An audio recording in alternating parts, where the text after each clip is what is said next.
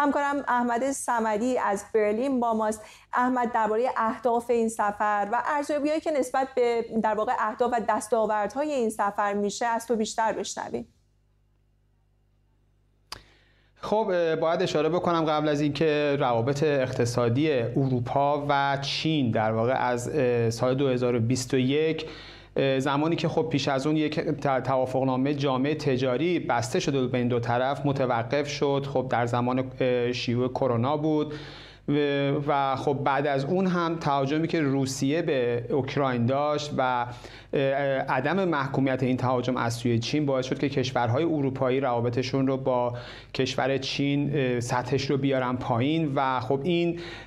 برای کشور چین تا حدودی باید بگیم که خب نگران کننده بود. اما از طرف دیگه خب آقای مکرون الان با یک چالش بزرگی مواجه هست و خب قانون افزایش سن بازنشستگی باعث شده که اعتراضات و ناآرامی هایی در فرانسه به وجود بیاد و تلاش می‌کنه که با سفری که به چین داره و خب این سفر رو پیش از اون با مقامات اروپایی هماهنگ کرده و گفته میشه که حتی کشورهای اروپایی رو تحت فشار قرار داده که روابط رو با چین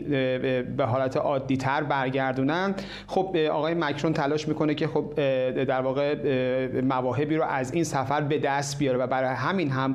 50 شرکت بزرگ فرانسوی رو از جمله رؤسای شرکت ایرباس شرکت انرژی آلستوم و غول انرژی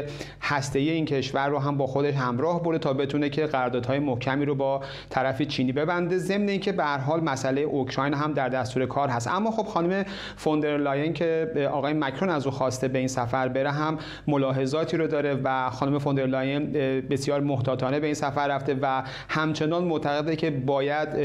دسترسی های چین رو به فناوری های حساسی که از سوی اتحادیه اروپا در این کشور داره در واقع کاربردی میشه جلوی رو بگیره و خود همین موضوع هم تا حدودی موجب آزردگی کشورهای کشور چین شده. اما در مجموع به هر حال کشور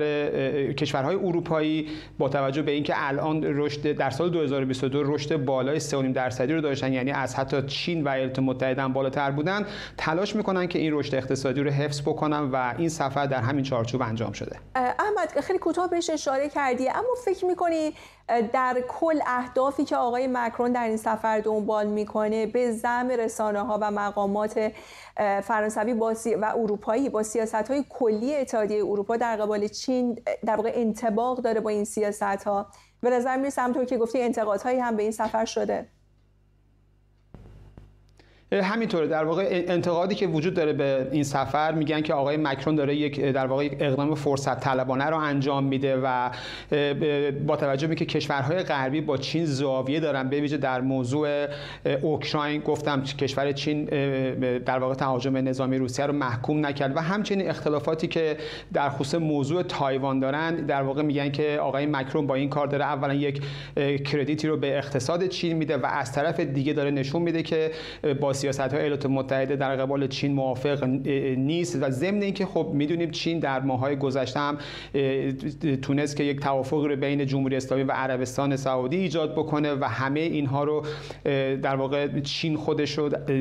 بیانگر این هستش که خودش رو داره الان یک لیدر در منطقه می‌دونه و بر همین اساس هم انتقادهایی به سفر آقای مکرون در این خصوص وجود داره. ممنونم از تو. احمد صمدی که از برلین با ما بودیم